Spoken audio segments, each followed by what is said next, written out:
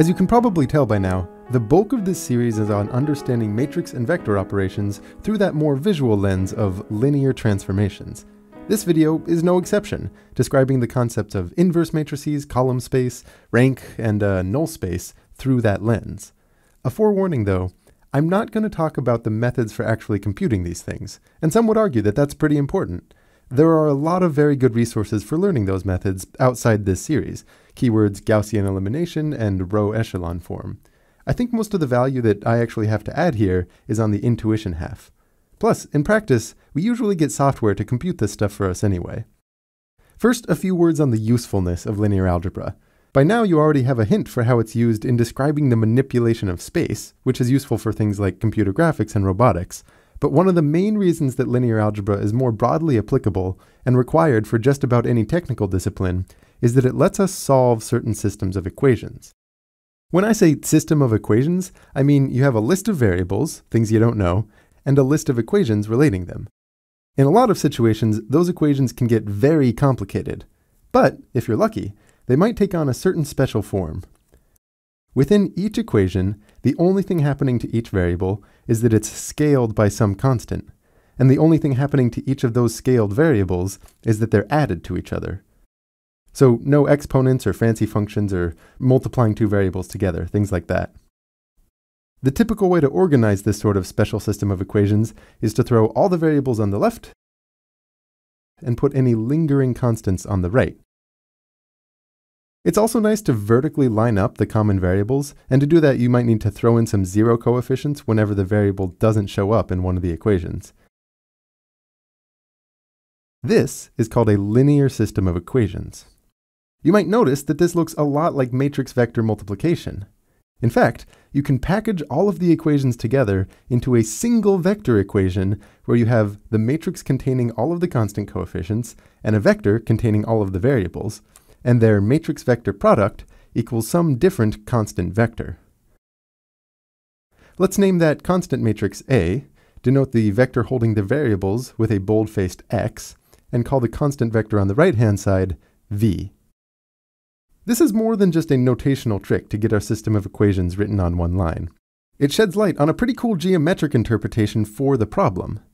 The matrix A corresponds with some linear transformation, so solving ax equals v means we're looking for a vector x, which, after applying the transformation, lands on v.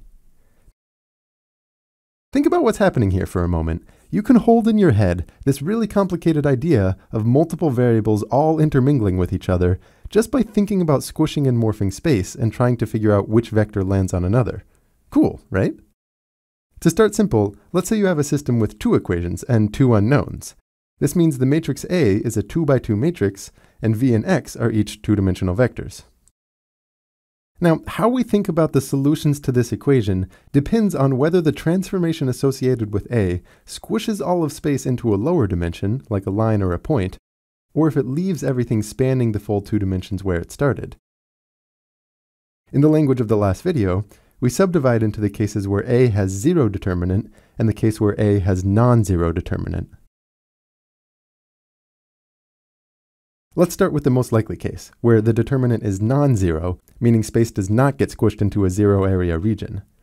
In this case, there will always be one and only one vector that lands on V, and you can find it by playing the transformation in reverse. Following where V goes as we rewind the tape like this, you'll find the vector x such that A times x equals V. When you play the transformation in reverse, it actually corresponds to a separate linear transformation, commonly called the inverse of A, denoted a to the negative 1. For example, if a was a counterclockwise rotation by 90 degrees, then the inverse of a would be a clockwise rotation by 90 degrees. If a was a rightward shear that pushes j hat one unit to the right, the inverse of a would be a leftward shear that pushes j hat one unit to the left. In general, A inverse is the unique transformation with the property that if you first apply A, then follow it with the transformation A inverse, you end up back where you started. Applying one transformation after another is captured algebraically with matrix multiplication. So the core property of this transformation A inverse is that A inverse times A equals the matrix that corresponds to doing nothing. The transformation that does nothing is called the identity transformation. It leaves i hat and j hat each where they are, unmoved, so its columns are 1, 0 and 0, 1. Once you find this inverse, which in practice you'd do with a computer, you can solve your equation by multiplying this inverse matrix by V. And again, what this means geometrically is that you're playing the transformation in reverse and following V. This non-zero determinant case, which for a random choice of matrix is by far the most likely one, corresponds with the idea that if you have two unknowns and two equations, it's almost certainly the case that there's a single unique solution. This idea also makes sense in higher dimensions, when the number of equations equals the number of unknowns. Again, the system of equations can be translated to the geometric interpretation where you have some transformation A and some vector v, and you're looking for the vector x that lands on v. As long as the transformation A doesn't squish all of space into a lower dimension, meaning its determinant is non-zero, there will be an inverse transformation, A inverse, with the property that if you first do A, then you do A inverse, it's the same as doing nothing.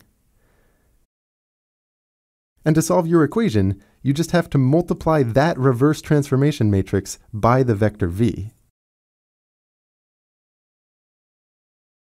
But when the determinant is zero, and the transformation associated with the system of equations squishes space into a smaller dimension, there is no inverse. You cannot unsquish a line to turn it into a plane.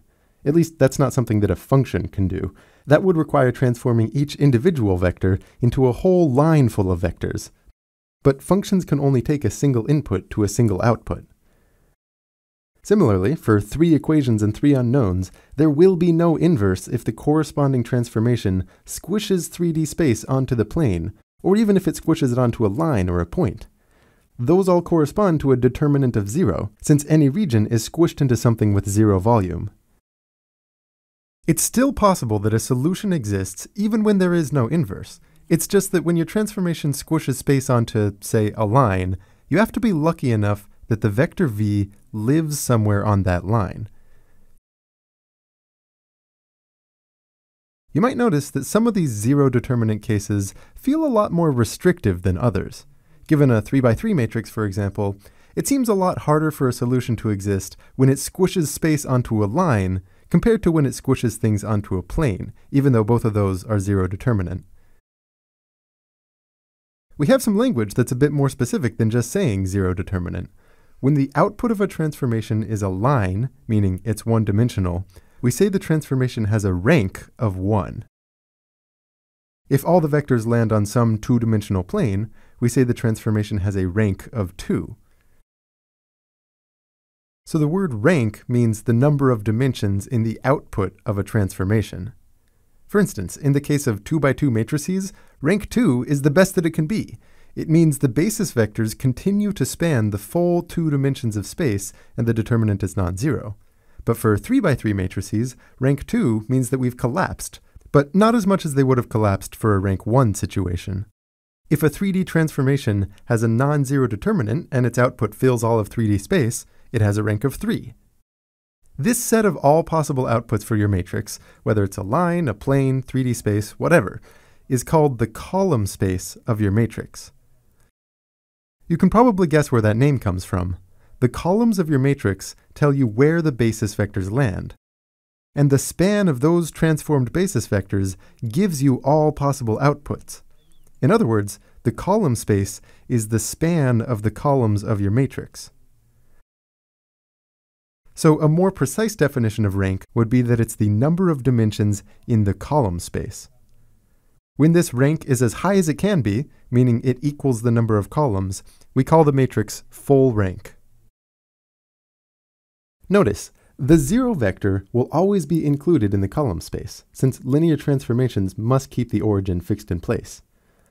For a full rank transformation, the only vector that lands at the origin is the zero vector itself.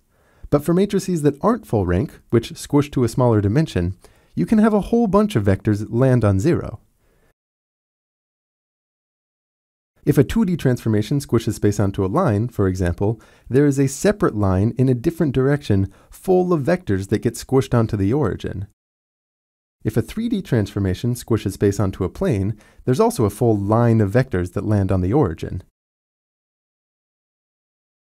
If a 3D transformation squishes all of space onto a line, then there's a whole plane full of vectors that land on the origin.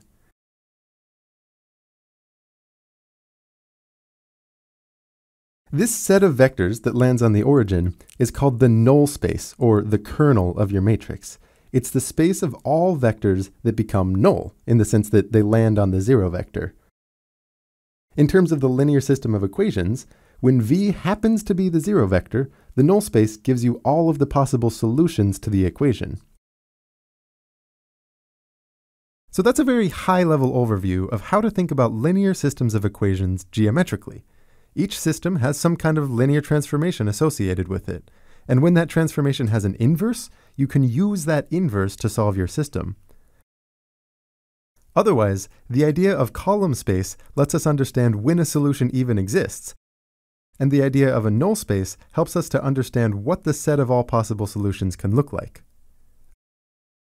Again, there's a lot that I haven't covered here, most notably how to compute these things. I also had to limit my scope to examples where the number of equations equals the number of unknowns. But the goal here is not to try to teach everything, it's that you come away with a strong intuition for inverse matrices, column space, and null space, and that those intuitions make any future learning that you do more fruitful. Next video, by popular request, will be a brief footnote about non-square matrices. Then after that, I'm going to give you my take on dot products, and something pretty cool that happens when you view them under the light of linear transformations. See you then.